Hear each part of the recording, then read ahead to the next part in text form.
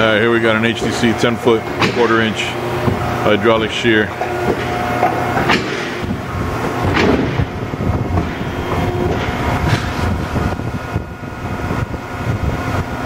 Gonna do some eighth inch aluminum. Nice clean burr free cut.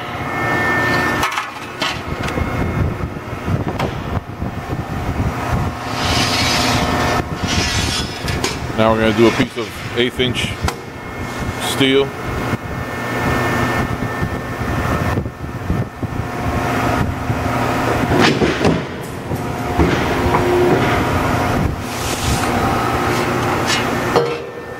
Nice clean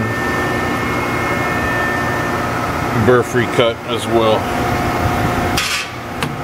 Thank you for watching Holland Machinery.